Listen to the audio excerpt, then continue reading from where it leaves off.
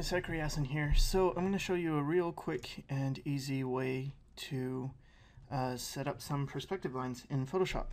Uh, this is a trick I learned from uh, Dave Rapoza, so he gets the credit for this one. And so what I'm going to do is I'll show you one point uh, perspective lines and then I'll show you two point. So I'm going to create a new layer and using the line tool and black, I'm going to figure out where my horizon line is. So uh, let's just say it's here, and I'm going to hold down shift so I get a straight line. You can do, um, you know, tilted horizons. That's fine. It's not going to be any different. So that's the easy part. And then I'm going to hold down the line tool and go to here where it says polygon tool. I'll click that and up top, you'll see there's a drop down box, and it's near the um, uh, custom shape tool. So I'm going to click that and then make sure this is checked.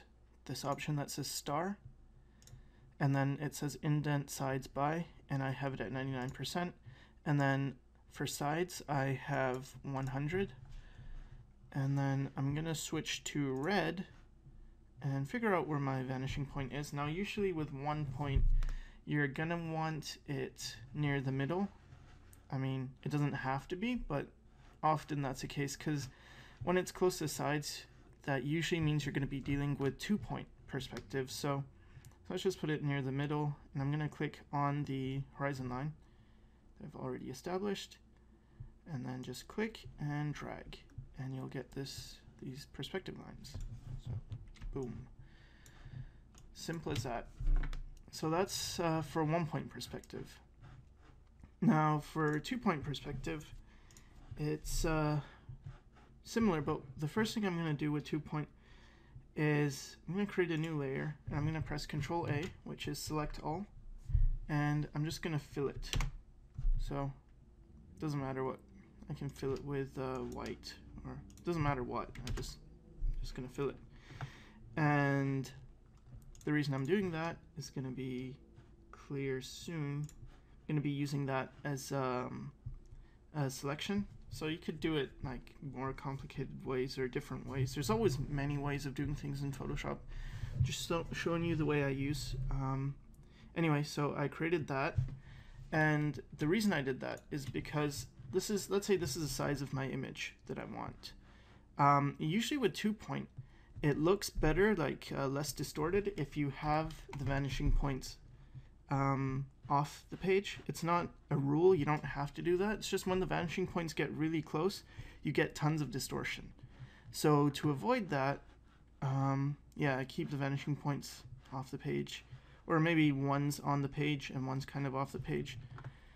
So I'm going to press, I'm going to select the crop tool. Uh, you can just press C and that gives you the crop tool. And now if you select the whole area, instead of cropping, if I go close to the sides, I can actually increase the size of the canvas. So I'm going to do that and then press enter. So now um, the canvas is being increased. Um, I'm working with a black background, so I'm just going to change it to gray. So you can see here, um, now I have this extra space on either side, and um, the next step is to get our rulers. So I'm going to press Control R, and that brings up this ruler, uh, these rulers, or you can go to Window, and uh, or rather View and Rulers. So View, Rulers. Um, to get rid of them, just press Control R again, or you can press Control. Um, yeah, just Control R. Um, okay, and then I'm going to click at the top and then drag down a guide for where I want my uh, horizon line. So with one point, I just used a line, and now with two point, I'm going to set a ruler guide, and the reason for that is because um, the ruler has this thing where if you click click next to it, it will snap to that. So I want my vanishing points to snap to this so that they're on the same horizon line. So I will click the polygon tool again, pick my color, whatever I want, like red. I'm just going to click for the first vanishing point. Now try and make sure that one of these lines um, is on top of the ruler line. And pick the second vanishing point. And the same thing. I'll make sure another one of the lines is on the ruler line. That way I can see um, my horizon. So I'm going to press Control H to hide the, the ruler line. And here I can see the horizon. And if I wanted to do some kind of tilted um, horizon, just Control A, Control T to get the transform tool. And then I can rotate this to get the tilted horizon. Um, but for now, that's fine.